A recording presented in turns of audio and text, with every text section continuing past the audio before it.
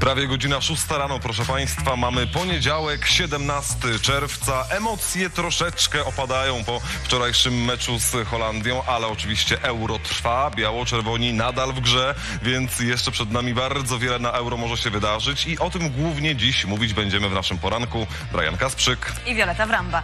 Oczywiście mówimy o tym, że Polacy zagrali dobry mecz, ale niestety Holendrzy okazali się mocniejsi. Nasi piłkarze oraz oczywiście kibice nie tracą wiary w sukces.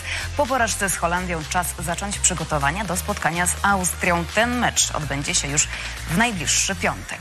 I jest to mecz, wobec którego faktycznie mamy bardzo duże oczekiwania, ponieważ wczoraj na murawie nasza reprezentacja pokazała, że potrafi grać dobrą piłkę. Więc co się wydarzy w spotkaniu z Austrią? Wszystko, proszę Państwa, może się wydarzyć, ale skoro mowa już o Austrii i o naszej grupie, no to dziś wieczorem nasz rywal zagra z Francją. To spotkanie o godzinie 21. I cóż, oczywiście zawsze wszystkim życzymy jak najlepiej, ale no gdyby tutaj Austrii. średnio poszło, to na pewno ucieszyłoby to polskich kibiców. Dokładnie tak, a już dziś o 10.45 przypominamy konferencja prasowa naszej kadry, na której wypowiedzą się m.in. Taras Romańczuk i Jakub Kiwior.